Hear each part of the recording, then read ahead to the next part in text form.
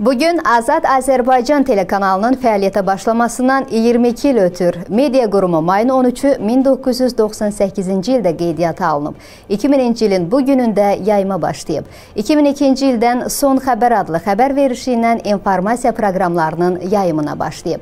Milli Televiziya və Radio Şurasının qəbul etdiyi qanuna görə 2008-ci ildə telekanal tamamilə Azərbaycan dilində yayım başlayıb.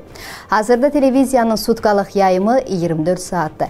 Televiziyanın ümumi efir vaxtının 93%-ni şəxsi istehsal proqramları, 4%-ni xaricdə istehsal olunan filmlər, 3%-ni isə reklam materialları təşkil edir. Bu il yanvarın 28-dən etibarən Azərspace 1 peykində HD yayın formatına keçib. Baku TV kollektivi adından ATV ailəsini təbrik edir, kollektivi işlərində daha böyük nailiyyətlər arzulayırıq.